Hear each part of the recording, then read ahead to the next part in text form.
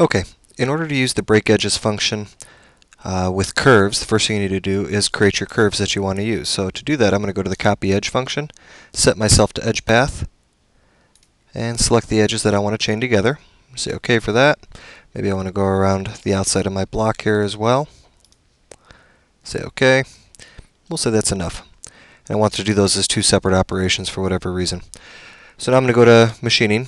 I'll go to milling, breaking edges choose my chamfer mill, say OK. I'm going to turn off all the automatic search, say OK.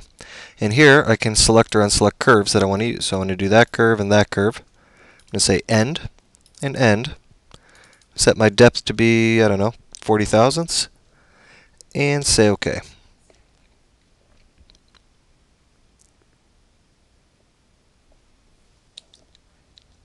So here you can see the software going to work. And like that, we're done.